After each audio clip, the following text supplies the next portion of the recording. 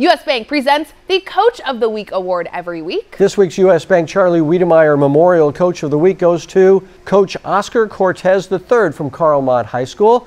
The Carlmont flag football team defeated Mills 12 to 7 to go to 9 and 0 on the season. Coach Cortez will receive a grant from the 49ers Foundation for his accomplishments and will be honored during a 49ers game this season. Congratulations to Coach Cortez, this week's U.S. Bank Charlie Wedemeyer Memorial Coach of the Week.